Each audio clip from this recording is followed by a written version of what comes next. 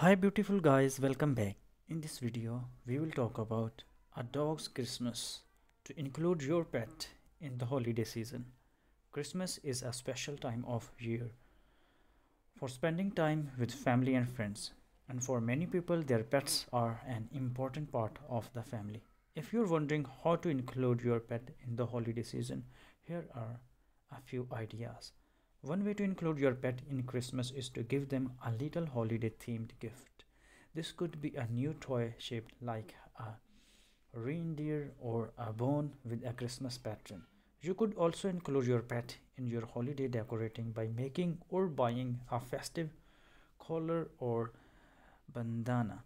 Another way to include your pet in Christmas is by including them in holiday activities. If you're going for a walk to look at Christmas lights, bring your dog along. If you are baking Christmas cookies, let your cat or dog watch and maybe sample a few. Pets can also be included in holiday cards and family.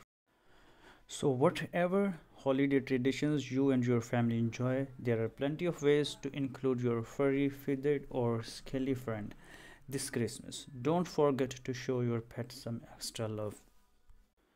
So when it comes to including your dog in the holiday season, planning ahead is key to making sure everyone has a stress-free fun time. Here are a few things to keep in mind. First, if you're hosting holiday gathering at your home, make sure your dog is comfortable with big groups of people. Second, keep in mind that holiday decorations and food can be tempting and sometimes dangerous to dogs. Be sure to keep all decorations out of reach and be extra careful with things like candles and lights. And make sure your dog has a safe, comfortable place to retreat to if they start to feel overwhelmed. This might be their crate, a quiet room, or even just a spot under the table.